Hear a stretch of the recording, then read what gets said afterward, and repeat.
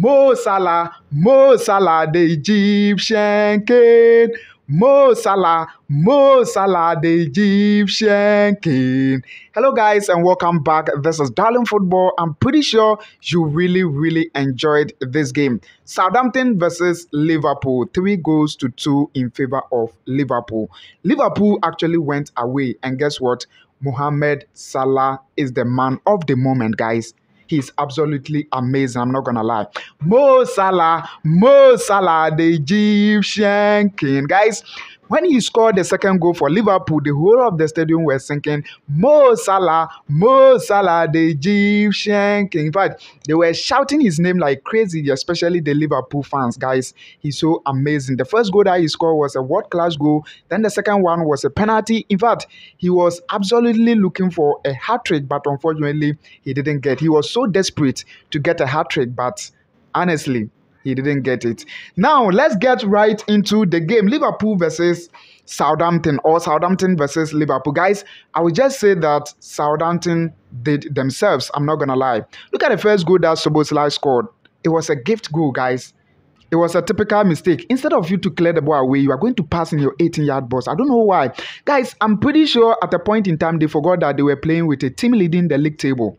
Liverpool are leading the table. Meanwhile, you are right at the bottom. You are going to pass in your 18 yard box. The first goal was actually a gift goal. Then look at the world class goal that Mo Salah scored this goal is a world class goal, guys. I'm not gonna lie.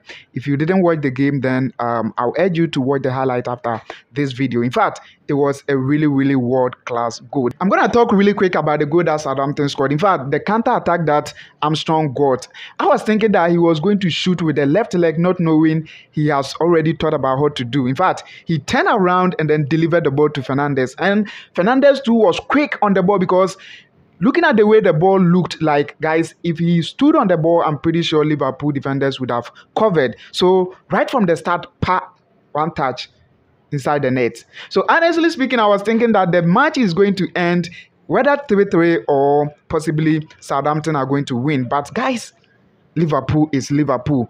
The whole of this season, they have played a total of 12 matches in the EPL, guys. They have never recorded any loss. They have won I mean, they have drawn only to the rest are all one games, guys. So Liverpool, just as I said in the previous video, I'm pretty sure that they are going to win the title. I'm not gonna lie. Looking at what uh, Manchester City are doing, and then looking at what Liverpool are doing, it is clear that Liverpool are going to win the title for this particular um, season. Guys, let's get into the man of the moment, Mohamed Salah. He was um, crowned the MVP, the man of the match of this particular game. In fact, he was rated um, 9.0, which is absolutely amazing. 9.0, guys. Mohamed Salah, the Egyptian King 9.0. I'm not gonna lie. Southampton, if they don't take care, honestly speaking, they will be going for relegation. 12 matches with just four points. They are at the bottom, the ultimate bottom on the league table, guys. That is where they are now. In fact, looking at the performance from the start all the way to the 70th minutes, honestly speaking, they played really, really well.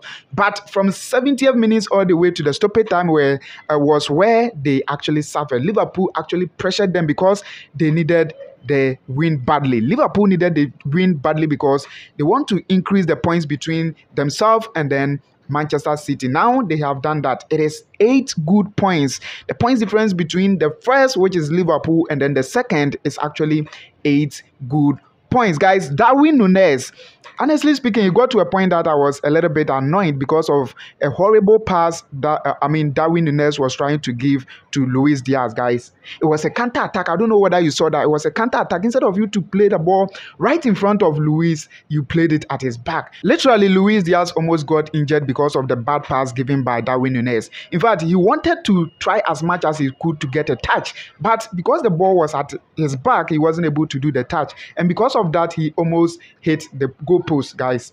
In my own opinion, Darwin Núñez was supposed to even come out of the game right from the um, 70th minutes rather than the time that they substituted him because um, he was not doing anything in the game, honestly. But guys, the man once again, I'm not gonna forget about this one. Szoboszlai to the punishment he gave to Southampton was so amazing. In fact, he also did amazing job. The curling where he placed the ball was very difficult for the goalkeeper to save. Now, let me talk a little bit about goalkeeper McCarthy, guys. He did well, even though he conceded like three goals, but honestly speaking, he did well. Look at the header that um, Luis Diaz headed, and then look at the save, the way he removed the ball over the goalpost, guys. He actually did well, but you know, they were playing with a super high club, Liverpool. You know, this season they are so amazing. No matter who you are, they will take a point from you. So it's not surprising though. A lot of people were thinking Liverpool will score like five, six goals plus, but honestly speaking, Southampton have really, really done well. I'm not gonna lie. Right now, all Liverpool fans are really, really happy because they were desperate about this maximum three points. And of course, they have gotten it. And in fact, it is really important three points to them. Ball possession, Liverpool possessed all the ball. Um, 62 38. Then, guys, Adam Armstrong, guys, he performed well. Looking at the penalty, honestly speaking, it was a bad penalty. I'm not gonna lie. Look at the way he plays the ball. It wasn't enough. Just that he was lucky to get a second chance to, you know, convert it to a goal. If not, the penalty would have been the worst penalty I've ever watched. You are playing with a high super club team like this and you are going to miss this penalty. Come on. After all, he scored, so I'm not going to blame him much. So, guys, pretty much that is it. I'm going to have to say Southampton performed well, but just that their performance wasn't enough. Of course, they were playing with a super high class club, Liverpool. Guys, let me know your thoughts right in the comment section down below. I hope you found the video useful. Make sure you smash the subscribe button, tap on the bell notification so that you'll be notified whenever I release a new video. Thanks for watching and see you again on the next video. Next will be Manchester United. See ya. Bye bye.